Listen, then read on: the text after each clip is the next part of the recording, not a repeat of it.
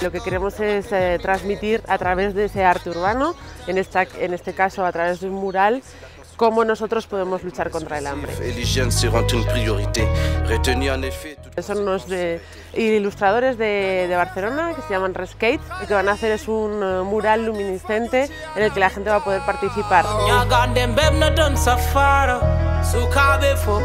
Bueno, para nosotros como artistas y diseñadores que somos eh, ha sido una intervención interesante porque creemos que, que, ya que tenemos una habilidad de dominar un lenguaje artístico visual que llega a la gente, es importante ponerlo al servicio de, de este tipo de, de acciones para, para visualizar y, y, que la gente vea, sea consciente de un problema.